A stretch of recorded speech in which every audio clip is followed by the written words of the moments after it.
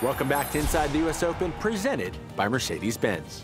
As the U.S. Open quickly approaches, it's hard to reference this celebrated tournament without its host country, the USA. As we think back, American legends have a very strong presence at the Open. Jimmy Connors, Andre Agassi, Pete Sampras, and many more. But today, the question remains, what is the future of American men's tennis? Where's it headed? And how can it get even better? Recently, I had the chance to sit down with the sport's most talented up-and-comers and distinguished players. Let's hear what they had to say about tennis in the U.S.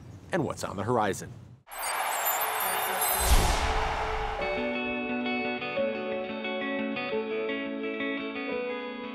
John, a lot's being made about American tennis, where it was, where it is now, and where it's going. How do you view it? As American tennis fans, um, we were kind of spoiled growing up in the 70s and 80s and 90s, I could run off all the great American players, all the Grand Slams these guys won. And it has been, you know, a full 10 years since uh, an American has, has, won a Grand Slam. But I think the game has sort of, sort of evolved. It was certainly very tough, um, you know, in the 80s and the 90s. But I think now the game is just so international and so deep. Um, and these guys in Europe and in South America seems like are just coming out of nowhere and everybody can play. Well, Leighton, you could definitely relate because Australia and Americans were at the forefront of tennis for so long and so dominant.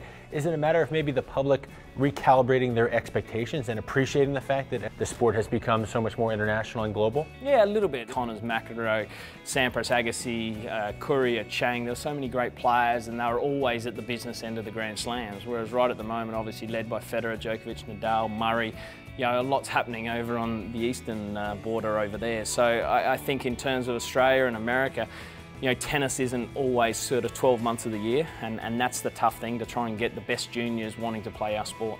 In the States, you have a lot of other sports that are maybe a little bit more popular right now than tennis, so they get some of our athletes as well. But with that being said, there's no excuses. It's on us to go out there and work harder and, and just uh, make sure we don't leave any stones unturned. We just got to make it happen. James, from your perspective, where is American tennis at right now? I still think American tennis is in a good place. Uh, got the Bryans as the, the best doubles team in America. We got, in, in the world, excuse me, and we got Isner, Querrey, top 20 players. I myself have a good four, five, six years ahead of me. So I think American tennis fans maybe need to uh, lighten up a little bit and just sort of let it come to them and not, not so much, uh, not put so much pressure on us. Maybe just appreciate what you guys are doing mm -hmm. now and not compare it to the past.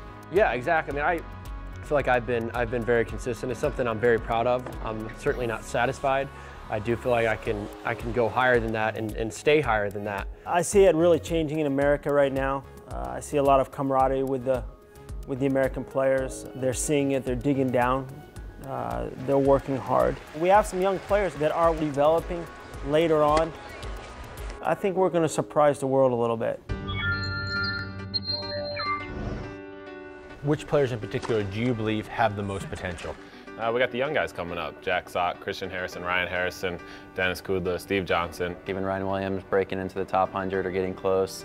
So I think the, the future is definitely looking, looking bright. Ryan, who's next is a question that's often asked in reference to American tennis. There's yourself, Jack Sock, Ryan Harrison, Denis Kudla, Stevie Johnson. Those are the names that keep coming up what does it mean to you to be a part of that group? It's huge. You know, when you're practicing out there with all the other guys, you look over and that guy's not quitting. It makes you want to keep going as well. So uh, it really, you know, we push each other and, uh, you know, we're, we're looking to make that next jump. Jack, you're only 20 years of age. The Davis Cup captain, Jim Courier, has already referred to you as having maybe the second biggest weapon off the forehand side in the sport next to Nadal. What emotions does that evoke when you hear someone that you respect so much talk that positively about you? Yeah, I mean, that's, uh, yeah, it's kind of music to my ears. When you Google your name, there are thousands of hits that mention you in relation to the future of American tennis. How much pressure is that?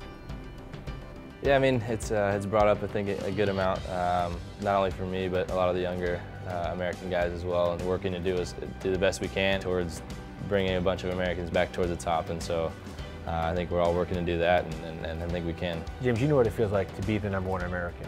You had a stint there in the middle of Roddick's very long run. Is it a lot of pressure?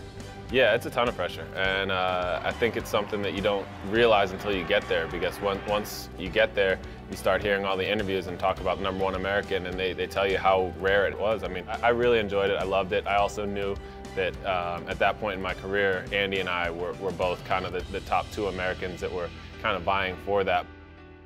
Christian, it's an interesting dynamic having two of the best prospects in American tennis be brothers. What's it like for you? Um, well, definitely he's a little bit older, so I've kind of got to learn a little bit from him coming up whenever he was kind of trying to make his stage and kind of his place on the tour, and that's kind of where I'm at now. Now we asked your brother this as well, since he's one of the top prospects in American men's tennis. What would it mean to him, not just to win the doubles at the US Open with his brother, but possibly play Arthur Ashe Stadium on the court against his older brother? Ryan Harrison versus Christian Harrison, Arthur Ashe Stadium, US Open. That'd be one of the coolest experiences you could imagine. I, know that watching us play um, at the Open last year and our fun run to the quarters was probably one of the best moments my parents have had. I'm looking forward to the opportunity one day. We both have a long ways to go, but that'd be one of the coolest moments I could ever imagine. So American tennis needs the Harrison brothers to be successful. they need somebody. Hopefully, hopefully it's us and, and, and some of the other guys, and uh, I certainly hope that we can all get there. Up next, we'll continue our discussions with some of America's most respected players and soon to be stars, and hear how quickly the sport is evolving and reaching new heights. It's actually kind of scary. You see, you see these guys, and it's just, um, just how they move is absolutely incredible. Know, you look at the top guys in the game. And later, we'll explore the future of the U.S. Open and predict who could be the next American champion on the men's side. All that and more on Inside the U.S. Open presented by Mercedes-Benz.